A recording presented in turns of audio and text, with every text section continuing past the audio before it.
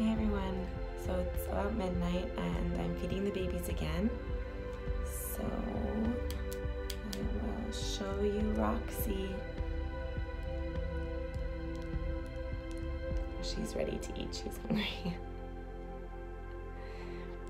so that's how I identify pretty much all of them. Roxy is the one with all the scratches on her. She has one here on her shoulder, she has one on her head here, and also one on her eye.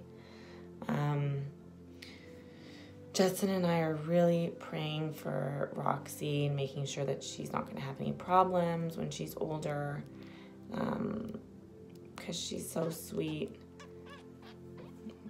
I don't know if you guys can see.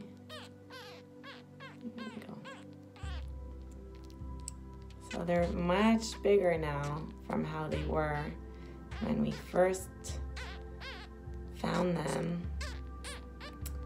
Uh, they're much more responsive now when it comes to feeding them. They know that they're gonna get food. They're easier to feed now. And um, it's also cute to see like the little changes that they've made too. Um, we can tell that they, we know that they're gonna be black squirrels just because uh, I'm pretty sure that the mother and the father were black. We saw them. That's not my finger. Here you go. So the black is starting to come out on the top of their nose a little bit. And I'll show you uh, her nails now. They're getting quite long.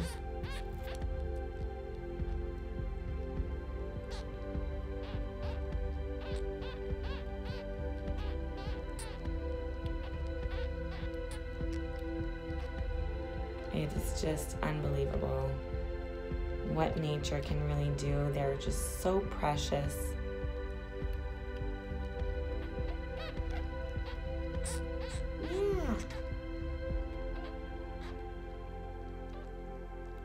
I'm excited to when their eyes are going to open, which is going to be in about another three weeks, maybe three and a half weeks.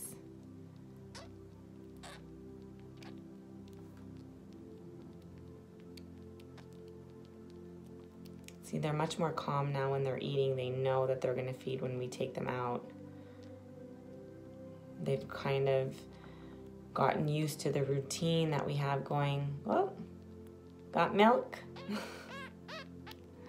She's so cute.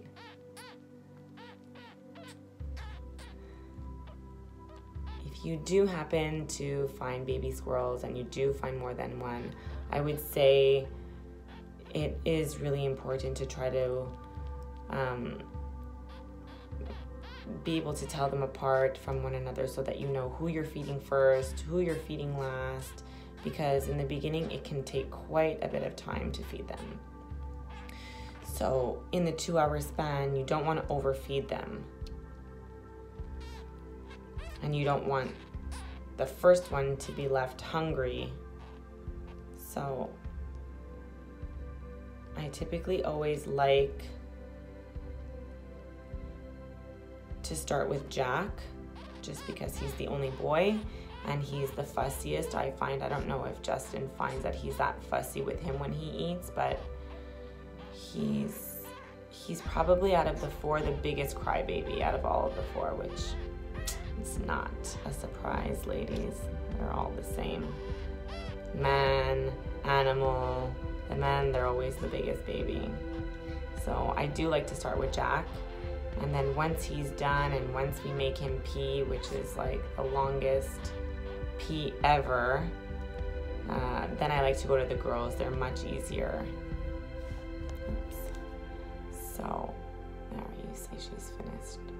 She's like, she's like in a milk coma, or she was. Okay, all done.